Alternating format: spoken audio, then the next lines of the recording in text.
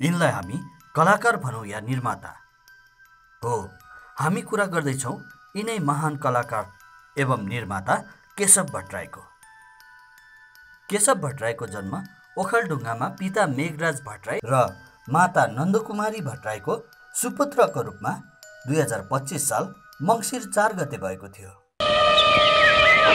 यसको मतलब केही न केही पक्कै मारे यिनीहरूले। यिनी विद्युत प्राधिकरणका कर्मचारी भए तापनि निर्देशक तुलसी घिम्रेसँग दुई हजार पैँतालिस सालतिर नेपाली कथानक चलचित्र लाउरेको सिल्भर जुब्ली फङ्सनमा भेट भयो। सहरमा गुन्डागर्दी गर्ने र आतङ्क मचाउनेको ढाड सोझाउन राम्ररी आउँछ मलाई। कलाकारितातिर मोह भएका यिनले त्यसपछि तुलसी घिमिरेका चलचित्रहरूमा एक दुई सिन गर्दै अभिनय यात्रा सुरु गरे। आमा पनि। त्यस्तो दिन आयो भने म स्वास्नीलाई नै छोडिदिन्छु। खैलाउनुहोस् खुट्टा। ढोगौँ यसरी यी महान कलाकारले कोसेली दुई थोपा आँसु चिनो ठुलदाई लक्ष्मण रेखा दौतरी सुख दुःख हामी तिन भाइ ऐश्वर्य आदि चलचित्रहरूमा अभिनय गरे भने दुई हजार सन्ताउन्न सालमा निर्माताको रूपमा चलचित्र आफ्नो मान्छेको निर्माण गरे।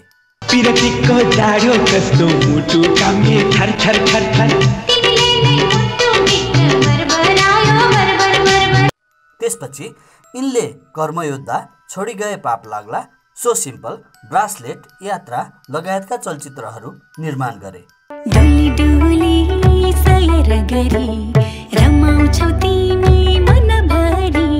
यिनी चलचित्र निर्माता सङ्घका वरिष्ठ उपाध्यक्ष एवं जनपक्षीय चलचित्रकर्मी सङ्घका अध्यक्ष समेत भएका थिए। त्यस्तै यिनी चलचित्र विकास बोर्डका अध्यक्ष समेत भएका थिए।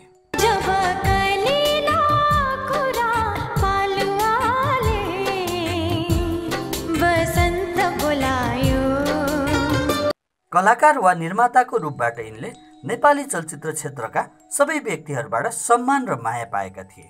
किनभने केशव भट्टराई आफै पनि हंसमुख एवं मिलनसार स्वभावका थिए। यिनले चलचित्र क्षेत्रका सबै व्यक्तिहरूलाई यति राम्रो व्यवहार गर्थे कि पहिलो पटक भेट्ने व्यक्तिले यिनको तारिफ मात्रै गर्थ्यो।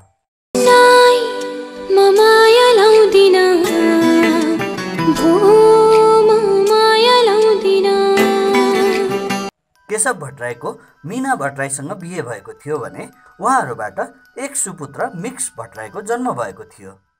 आफ्नै छोराको बिहेमा पनि मग्लो खाएर भाग्नु पर्ने। यिनी थुप्रै एवार्ड तथा सम्मानबाट समेत सम्मानित भएका थिए। केशव भट्टराईले नेपाली चलचित्रमा मात्र नभई एक दर्जनभन्दा बढी टेली सिरियलहरूमा समेत जीवन्त अभिनय गरेका थिए। यिनै महान कलाकार तथा निर्माता केशव भट्टराईको दुई हजार छयत्तर साल मङ्सिर उनातिस गते निधन भयो। यिनको निधन भए पनि यी महान कलाकार एवं निर्माता केशव भट्टराईले नेपाली चलचित्र क्षेत्रको श्रीवृद्धि गर्न पुर्याउनु भएको योगदान नेपाली चलचित्र क्षेत्रले कहिले बिर्सिने छैन। नेपाली चलचित्र क्षेत्रको इतिहासमा यिनको नाम स्वर्ण अक्षरले लेखिनेछ।